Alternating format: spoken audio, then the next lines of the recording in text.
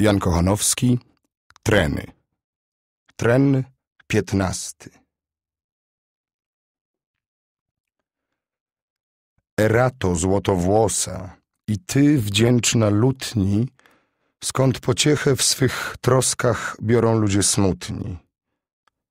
Uspokójcie na chwilę strapioną myśl moje, póki jeszcze kamienny w polu słup nie stoję, lejąc ledwie niekrwawy płacz przez marmur żywy, żalu ciężkiego pamięć i znak nieszczęśliwy. Mylę się? Czyli patrząc na ludzkie przygody, skromniej człowiek uważa i swe własne szkody? Nieszczęsna matko, jeśli przyczytać możemy nieszczęściu, co przegłupi swój rozum cierpiemy. Gdzie teraz twych siedm synów i dziewek tak wiele? Gdzie pociecha? Gdzie radość i twoje wesele? Widzę czternaście mogił, a ty nieszczęśliwa.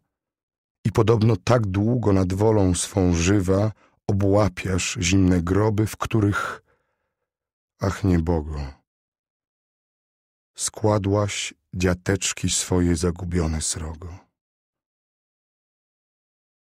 Takie więc kwiaty leżą kosą podsieczone, albo deszczem gwałtownym na ziemię złożone.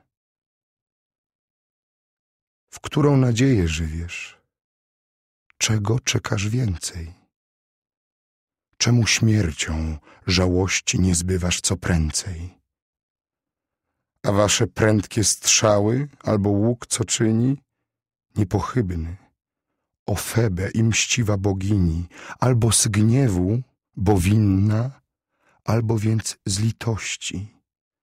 Dokonajcie przeboga jej biednej starości.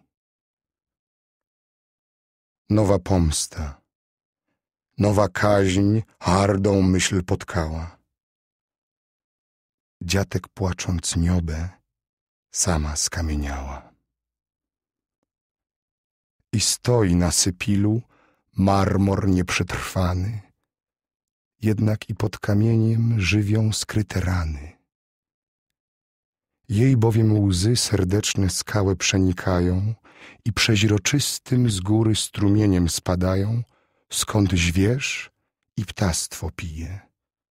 A ta w wiecznym pęcie tkwi w rogu skały wiatrom szalonym na wstręcie. Ten grób nie jest na martwym. Ten martwy nie w grobie, ale samże jest martwym. Samże grobem sobie.